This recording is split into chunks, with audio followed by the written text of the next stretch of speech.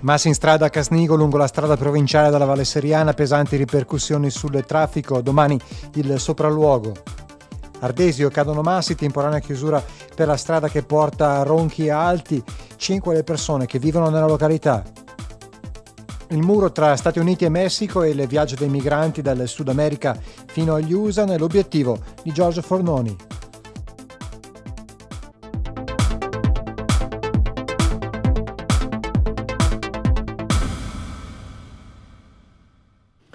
Buonasera e ben ritrovati con il telegiornale di Antenna 2. Il forte maltempo che si è abbattuto nella mattinata in Valle Seriana è la probabile causa del distacco di alcuni massi finiti sulla carreggiata della strada provinciale della Valle Seriana prima delle 7.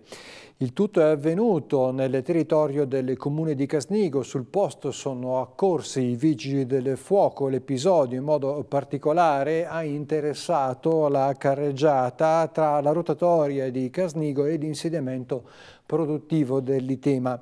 Intorno alle 9 i massi sono stati rimossi e via via il traffico è tornato alla normalità.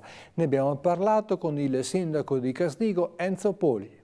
Siamo al telefono con il primo cittadino di Casnigo, Enzo Poli. Ci può aggiornare sulla situazione dopo il distacco di massi avvenuto questa mattina che ha interessato la strada provinciale della Valle Seriana? Allora, la situazione attuale è che tutto è rientrato un po' nella normalità dopo, dopo l'evento che eh, si è verificato stamattina, che ha causato anche a livello di traffico notevoli code, quindi, quindi disagi, la situazione è sotto controllo dal punto di vista sicurezza, abbiamo attivato ovviamente tutti tutte le procedure per fare un sopralluogo al fine di eh, verificare che non vi siano altre, altre condizioni di pericolo e a più breve agiremo. Quando ci sarà il sopralluogo? Allora il sopralluogo è previsto nella, nella mattinata o nel primo pomeriggio di domani con i tecnici con il nostro geologo, con eh, i tecnici dello STER e vediamo un po'. Nel frattempo la strada comunque resta aperta, ci sono dei monitoraggi? La strada è attualmente percorribile, non ci sono pericoli immediati, questo si è, verif- si è stato subito verificato, quindi per il momento potenziali pericoli non ce ne sono. Il maltempo di questa mattina ha lasciato una scia di danni sul territorio dell'Alta Valle Seriana. Ad Ardesio una strada è stata interessata da uno smottamento che ha portato il sindaco a siglare un'ordinanza di chiusura. Cinque le persone che vivono nella località temporaneamente non raggiungibili. Siamo al telefono con il sindaco di Ardesio Ivan Caccia. Il maltempo ha creato problemi anche sul territorio di Ardesio.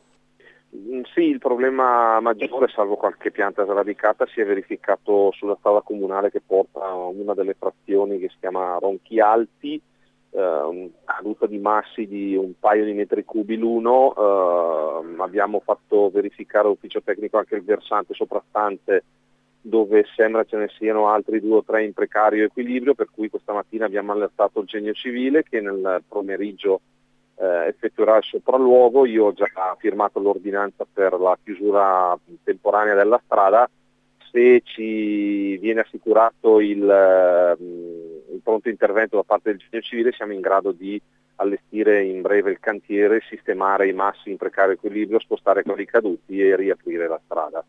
Mm, per il resto del territorio sembra tutto tranquillo, qualche problema appunto per disradicamento di qualche albero per, eh, per il vento forte di questa mattina alle 7 ma nulla di particolare se non in questa zona nei ronchiati. E si registrano danni anche a Clusone, sentiamo Nicola Androletti. Il maltempo che si è abbattuto questa mattina sulla Bergamasca ha fatto danni anche a Clusone. La zona più colpita è stata quella della Pineta, dove il vento ha fatto cadere diversi alberi, soprattutto nella zona del parco Avventura. Forti raffiche hanno attraversato l'area piegando e sradicando alberi, almeno una quindicina le piante in qualche modo colpite. Alcune facevano parte di percorsi del parco Avventura. Sopra c'erano piattaforme, passerelle e altre strutture, anch'esse venute giù. Il parco in questo periodo è chiuso, la riapertura è prevista per aprile, ma sarà pressoché impossibile farlo tornare come prima, visto che sono venuti a mancare alberi dove passavano i percorsi. Per ora si stanno ancora valutando i danni. Il parco Avventura era già stato investito dal vento nel 2011, anche allora erano caduti parecchi alberi, ma i percorsi erano stati risparmiati. Oggi sono già iniziati i lavori per rimuovere gli alberi, nel frattempo si è mosso anche il comune di Clusone, proprietario dell'area è stato effettuato un sopralluogo e la zona è stata delimitata per ragioni di sicurezza, chiudendo le vie d'accesso, spiega l'assessore ai lavori pubblici Giuseppe Trussardi. Domani verrà effettuato un altro sopralluogo per capire cosa si può fare per attivare le procedure con la compagnia d'assicurazione in vista del risarcimento del danno. Alcuni alberi sono caduti anche nella zona di San Rocco di Piario, sono stati rimossi nel primo pomeriggio in seguito all'intervento di una ditta incaricata dall'amministrazione comunale. Anche in altre zone del nostro territorio pioggia e vento hanno causato problemi. Ad Albino gli operatori della protezione civile sono intervenuti per un paio di alberi caduti. Il primo a Fiobbio, vicino al cimitero, ostruiva il transito su una corsia in via Colle Sfanino sono state rimosse delle ramaglie, un paio di tombini sono stati poi fatti saltare dalla spinta dell'acqua, uno nei pressi di via Provinciale e l'altro a Bondo Petello. I volontari della protezione civile li hanno sistemati, qualche detrito è finito in strada in via Tribolina, all'incrocio di via Fummiano ma eh, non ha eh, compromesso la viabilità. Gli operai del comune hanno infine provveduto a tappare alcune buche formatesi con la pioggia in via Pradella e in via Marconi. Oggi è avvenuto l'incontro tecnico per la definizione dell'intervento di posa delle passerelle lungo la pista ciclopedonale tra Fiorano e Casnigo. Alla presenza della comunità montana, dei sindaci e dei tecnici, degli enti interessati, si è deciso di iniziare le opere nei primi giorni di novembre. Si tratta di due strutture metalliche che consentiranno di evitare problemi di usura, come invece era accaduto con le precedenti in legno. Costo delle opere 230.000 euro a carico della comunità montana. 45 metri è la lunghezza dell'infrastruttura che porta verso Casnigo, attualmente chiusa, 32 metri invece quella che permette di accedere al Parco Buschina. Il 9 novembre ricorre il trentesimo anniversario della caduta del muro di Berlino. In vista eh, di questo appuntamento, mercoledì sera a Decoder parleremo di muri. Nella prima parte della trasmissione sarà presente Don Sergio Gamberoni, direttore dell'ufficio della pastorale dei migranti della diocesi di Bergamo per una riflessione sui muri nel mondo. Successivamente vi proporremo alcune immagini girate nei mesi scorsi a Berlino con un'intervista a Danilo Taino, giornalista e scrittore corrispondente delle Corriere della Sera da Berlino e autore del libro Scacco l'Europa, la guerra fredda tra Cina e USA per il nuovo ordine mondiale. E infine sentiremo Giorgio Fordoni parlarci del muro tra Stati Uniti e Messico e del viaggio dei migranti dal Sud America fino agli USA. Vediamo una breve anticipazione. Fornone, il suo ultimo lavoro ci porta in Messico. Come sì. mai questa destinazione? Certo, perché eh, come ben sai questo è tempo di muri. Tempo di muri cosa significa? Come tu già mi avevi raccontato no, dopo l'abbattimento del muro di Berlino, in quale punto siamo arrivati della vita. Ecco, quindi oltre alla chiusura dei porti, oltre alla costruzione dei muri in Israele, come ho raccontato per Report, come il muro del popolo Saharaui, come ho già raccontato per Report, così, come quello che mi piacerebbe raccontare sulla Corea tra nord e sud. Ecco, qui che vedendo nel novembre scorso questa fiumana di gente che tentava in qualche modo di attraversare il muro di Trump e lui a tutti i costi tentava, facendo la sua campagna elettorale, di avere dei soldi per farne di più, ecco, quindi immaginate che un muro già lungo 1123 km e lui lo vuol portare addirittura a 3200 km, addirittura scendendo anche sottoterra per, per evitare che i coyotes riescano a passare sottoterra per il traffico sia della droga che anche di questa povera gente che cerca un futuro nell'aldilà. Quello ecco, che abbiamo visto era il confine tra il Centro America e appunto gli Stati Uniti. E con la parte vicino all'oceano il primo pallino giallo che era uscito era Tijuana, dove appunto questo eh, questo eh, muro si subentra. Ecco, ma perché poi sono andato? Sono andato anche per capire cos'è che spingeva la gente. La gente soffre tantissimo nel Centro America e la gente addirittura tenta di, eh, di, inseguendo i sogni di andare alla ricerca di una vita migliore, un mondo migliore come è ovviamente negli Stati Uniti. Quindi partono dal Centro America, salgono sui treni merci, prendono posto sui treni in corsa tra un vagone e l'altro e tentano veramente in qualche modo di riuscire, perché non hanno soldi, sono indocumentados, di arrivare proprio vicino al muro e là tentare di poter andare nell'aldilà. Ma ho avuto la fortuna lì, eh, incrociando di notte un treno dove c'era questa gente indocumentados che eh, intrecciando una scena straordinaria no, tra chi offriva da bere e da mangiare e loro che prendevano un gesto in bianco e nero, ma sicuramente un gesto di totale gratuità. Quindi questa storia del Messico è semplicemente perché volevo capire per quale motivo non solo da noi, perché nel mondo eh, stiamo arrivando questo, in questo momento eh, inseguendo solamente la paura e disumanizzando totalmente l'uomo se andiamo avanti in questo modo, un po' così. Figli felici a scuola, come migliorare l'esperienza scolastica dei propri figli con l'aiuto di una larga cervelli. È il titolo del libro al centro della puntata di domani sera di Target, trasmissione in onda alle ore 19 sul canale 88 del Digitale Terrestre. Figli felici a scuola è il titolo della sua pubblicazione, innanzitutto perché ha voluto scrivere questo libro? Allora, perché eh, in base alla mia esperienza di vent'anni di un servizio psicologico molto strutturato che parte dal 1 settembre al 30 giugno, ho raccolto molti vissuti e molte esperienze di ragazzi e di famiglie e ho notato che eh, spesso la scuola, invece che essere eh, una scuola di vita che potrebbe diventare una palestra di felicità, spesso diventa un qualcosa che dona infelicità, tristezza un dramma. E invece io credo e che sia possibile che la scuola diventi un ambiente dove eh, una persona stia bene, sia felice. Avrei voluto scrivere figli felici a scuola, punto di domanda, e poi ho detto no, lo tolgo perché in base alla mia esperienza credo che sia possibile eh, una, perché vedo eh, e ho notato per esperienza che i ragazzi felici sono anche degli studenti migliori, apprendono meglio. Quindi tutto può essere modificato grazie a una fondamentale attività di analisi. Se ma c'è qualcosa che non va, bisogna andare un po' a fondo. Tutto no, ma eh, l'attenzione è molto importante che non sia solo su quello che non va, cioè sul negativo, ma su quello che può essere di positivo, sia che il ragazzo in questo caso o anche la famiglia il positivo che ha, perché non sempre qualcuno riconosce i presi, gli aspetti positivi che, che ha e, e, anche le potenzialità che potrebbero essere stimolate per il futuro, perché i ragazzi anche, o i bambini, anche se sono molto giovani, hanno delle potenzialità incredibili che io ho notato che escono con l'andare del tempo eh, chiaramente ognuno con i propri tempi. Quando un ragazzo riesce a prendere coscienza delle proprie caratteristiche, allora si sente più soddisfatto, aumenta l'autostima e sta anche meglio nel gruppo, oltre che in famiglia e nella società. Sono molto importanti le relazioni.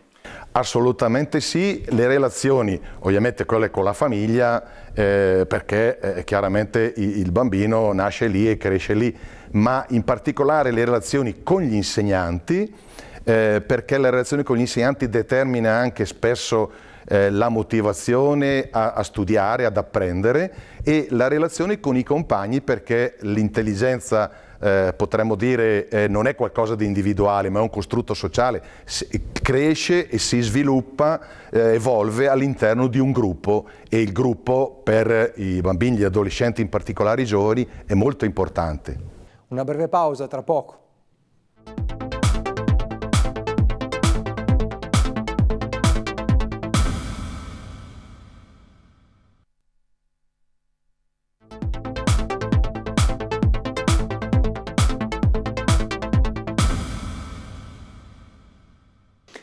Rieccoci in onda con il telegiornale di Antena 2.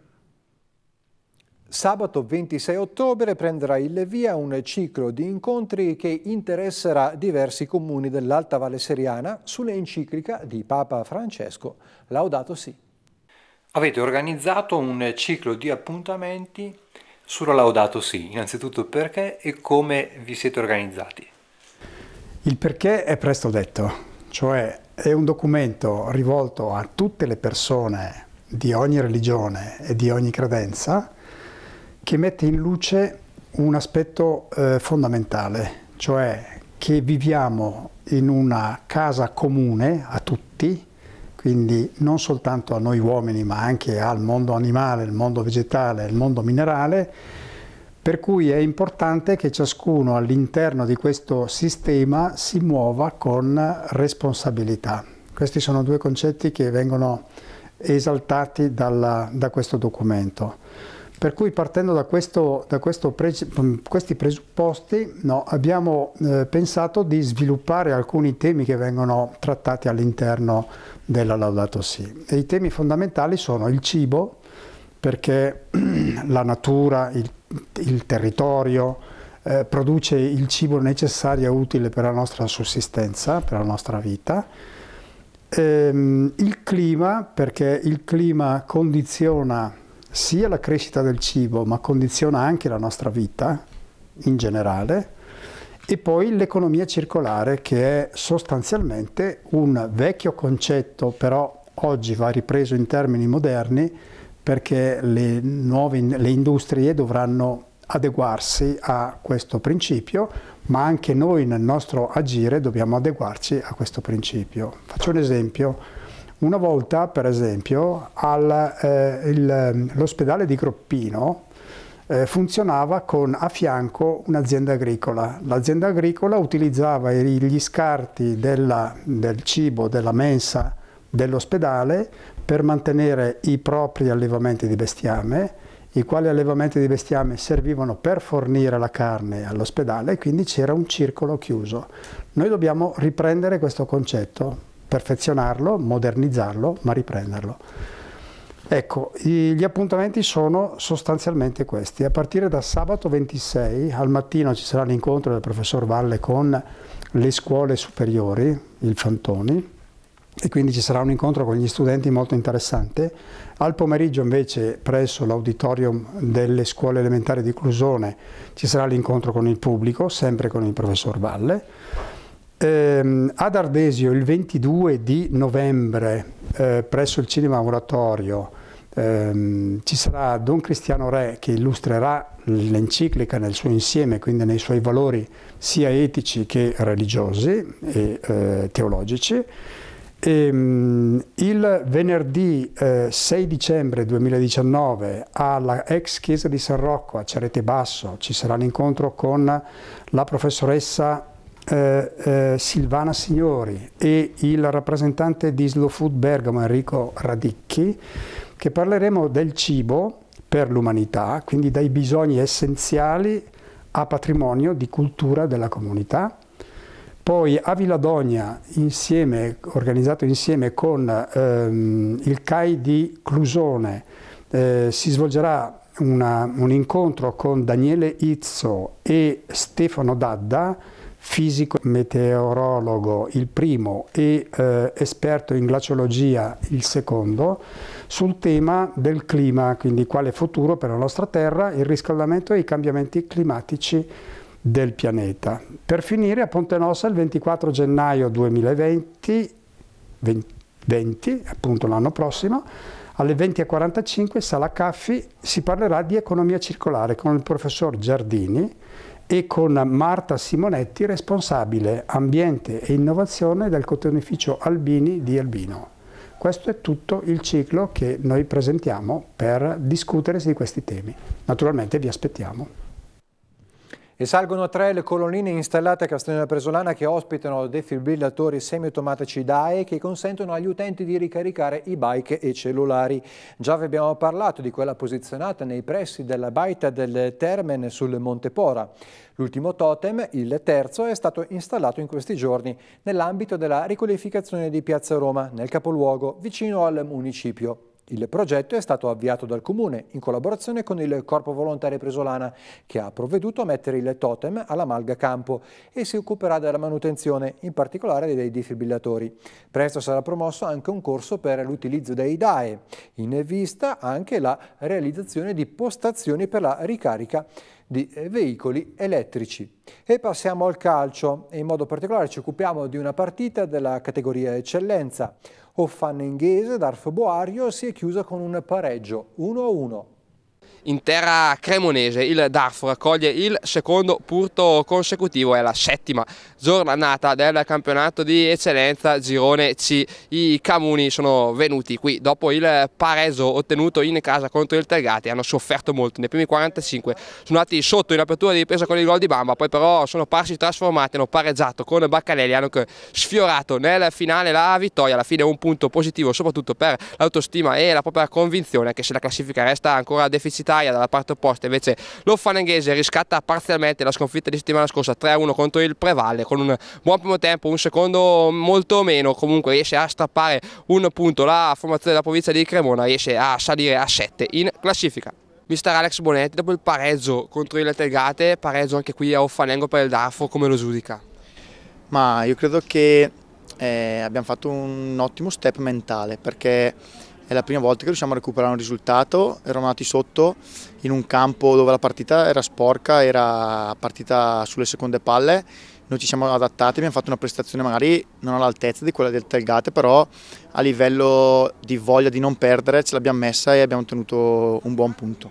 Sicuramente potevamo vincerla, si poteva anche magari perdere sull'ultima palla inattiva e ripeto è da sottolineare come la squadra eh, mentalmente non, c'è stata a perdere, abbiamo cercato di, por di portare eh, a casa la, la, vittoria, non ci siamo riusciti, ripeto però me lo tengo stretto questo punto soprattutto per la prestazione mentale, per la voglia di non starci a perdere che i ragazzi ci hanno messo. Sì, sì, tutte le partite sono importanti, però è vero, eh, adesso dobbiamo cercare di portare una vittoria perché ci manca, perché i ragazzi si vedono in settimana che, che ambiscono a questo, che lottano. Oggi prendo l'esempio di, di Fatih che ha fatto metà allenamento venerdì, gli ho chiesto se c'era, non ha avuto nessun dubbio nel rispondere presente, eravamo d'accordo di fargli fare 20 minuti, poi eh, i fatti della partita mi hanno portato a fargli fare 40 minuti, ora fa fatica persino a camminare, però vorrei sottolineare, prendere esempio lui per poi eh, far vedere che tutta la squadra è una squadra che non molla, è una squadra che butta il cuore oltre l'ostacolo e questi sono segnali a mio avviso molto importanti. Ora continuiamo con il campionato promozione San Paolo d'Argon Pradalunghese terminata con la vittoria della Pradalunghese per 3 a 2. La Pradalunghese si aggiudica questa partita vincendo per 3-2 contro il San Paolo d'Argon, una vittoria importantissima per la formazione di Giovanni Astori che così può proseguire il campionato con un po' più di tranquillità dopo la vittoria di domenica scorsa per 3-0 è arrivato questo 3-2 qui in trasferta contro il San Paolo d'Argon, partita molto combattuta ma la Prada Lunghese ha meritato sicuramente questa vittoria in virtù delle occasioni create, soprattutto nel primo tempo che non era riuscita a portarsi in vantaggio ma poi nella ripresa, scoppiettante ripresa, viste i gol e le azioni costruite dalle due formazioni. Dopo appunto due minuti di gioco della ripresa, Mancini era riuscito a portare in vantaggio la Prada Lunghese, che poi è stata raggiunta su un calcio di rigore assegnato al direttore di gara e Tebaldi lo ha trasformato dunque portando il San Paolo d'Argo sull'1-1 poi però la doppietta di Tori esattamente al sedicesimo e ventitresimo ha portato il punteggio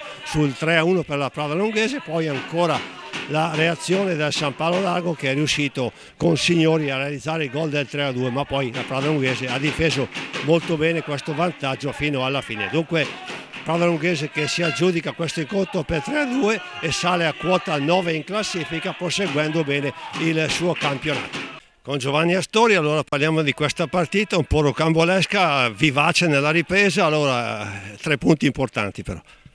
Ma penso che per noi siano fondamentali in quanto sapete benissimo lo score nostro iniziale per cui oggi noi abbiamo l'obbligo di cercare di vincere tutte le gare che andiamo ad affrontare. È ovvio che a volte questa smania di, di, di, di fare può comportare determinati errori che oggi abbiamo commesso in fase difensiva perché loro in realtà hanno fatto due tiri in porta ma abbiamo subito ancora due gol.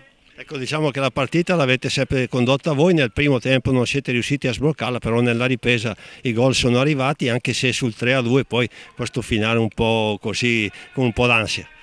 Sì, sicuramente da evitare, da evitare anche perché poi l'arbitro si fa prendere, si fa coinvolgere, pur avendo arbitrato bene secondo il mio parere, alla fine però loro la smania di recuperare, noi probabilmente la paura di portare a casa il risultato ci ha indotto a commettere qualche errore di troppo in fase difensiva, per cui dovremo sicuramente rivedere questo tipo di atteggiamento. Domani sera alle 20.30 torna in onda la rubrica di pareri ed opinioni locali, il Sasso nello stagno a cura del nostro Tony Tranquillo. Domani sera 20.40 l'appuntamento con il Sasso nello Stagno. Argomento della settimana la memoria. Quanto ricordate della vostra vita? Soprattutto è meglio ricordare o dimenticare. Lo faremo attraverso anche delle domande simpatiche, molto simpatiche, che hanno raccolto delle risposte altrettanto simpatiche. Non perdetevi l'appuntamento domani sera 20.40 con il Sasso nello Stagno Antenna 2 TV e subito come sempre un'anteprima della trasmissione. Eh, non lo so, credo che sia importantissimo. La memoria è la persona, se vuoi, perché è la somma di tutto quello che sa. Più memoria ha, più uno è, diciamo. Sai che qualcuno dice che vive meglio se riesce a dimenticare? Eh, cavoli suoi. Ma tu, tu me messo male. Tu preferisci ricordare tutto? Certo, più possibile. Sì, il problema è riuscirci, però vabbè, è importantissimo, no? Adesso Ma- seriamente è una cosa anche- importante. Ma anche situazioni magari... mm, Specialmente quelle. Sgradevoli, Certo. persone sgradite, insomma. Tendono a svanire da soli, di solito restano in mente le cose belle, però è importantissimo secondo me essere consapevoli di tutto quello che è più possibile sapere. Sai Eh, che su Facebook ci sono anche gruppi 6 di Clusone se, per esempio, e lì escono i ricordi di una Clusone che non c'è più. Cosa ti ricordi di una Clusone che non c'è più? Ho sti bei gruppi, anche se non sono clusonese originario, e bei gruppi di amicizie che giravano cioè, nel paese di ragazzi giovani, milanesi e nono, che non ci sono più, le seconde case usate molto meno di prima, quelle belle compagnie lì che animavano il paese, una cosa di cui mi ricordo. Ti ricordi ancora chi faceva parte di quelle compagnie? Eh, certo, chiaro, chiaro. Ogni tanto si- ci si vede ancora Sì, qualcuno sì. e si ricordano i vecchi tempi. Beh, chiaro, i bei ricordi fanno parte della vita attuale, nel momento in cui li ricordi tornano reali. E i tornano maestri delle elementari? Pure. Te li ricordi? Beh, certo, Eh, beh, eh, io ne ho avuta una. E chi era? Eh, ah, mi ricordo lei, ma non il nome. Bravo, mi hai preso. Mi ricordo lei. Io sapevo ma che se scavavo prima o poi sarei riuscito a trovare sparare, ma sono troppo sincero. Devo sparare, basta Come dicevo. mi hai chiamato stamattina? Giovanna, vabbè, Eh, ma viene vabbè, Giovanna. Eh. Sarà maestra, chiaramente è morta vista l'età. eh. Ebbene, lo sei Eh, anziano. vabbè, però diciamo le elementari 50 anni dopo metti che aveva la mia età. Una breve pausa, tra poco.